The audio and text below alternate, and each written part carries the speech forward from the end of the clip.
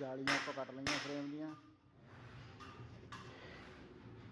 ਇਸ ਤਰ੍ਹਾਂ ਚਤਰਦਾਰ ਟੁਕੜਾ ਲੈ ਕੇ ਹਲਕੀ ਹਲਕੀ ਸੱਟ ਮਾਰ ਕੇ ਸਿੱਧੀਆਂ ਕਰ ਲਾਂਗੇ ਇਹਨਾਂ ਨੂੰ।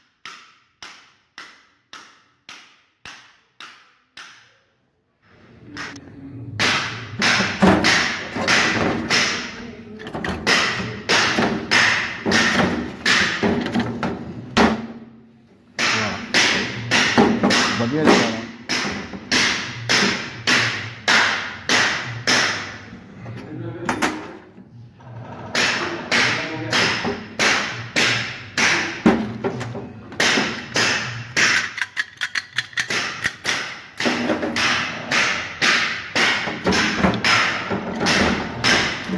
ਗਾਣਾ ਲਾਈ ਆ। ਠੀਕ ਆ ਕਾ ਵਧੀਆ ਵਧੀਆ ਟਾਇਰ ਫੜ ਰਹੀ ਹੈ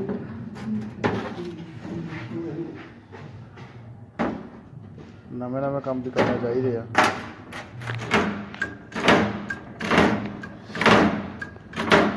ਤੇ ਉਹ ਇਲਾਕੇ ਕੰਪਲੀਟ 5-7 ਮਿੰਟ ਲੱਗੇ ਆਪਾਂ ਨੂੰ।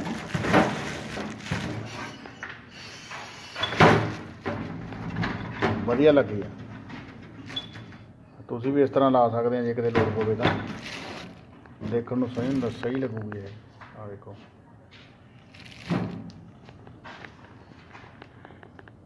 ਫਰੇਮ ਦੇ ਵਿੱਚ ਰੱਖ ਦਾਂਗੇ ਇਹਨੂੰ। ਬਾਕੀ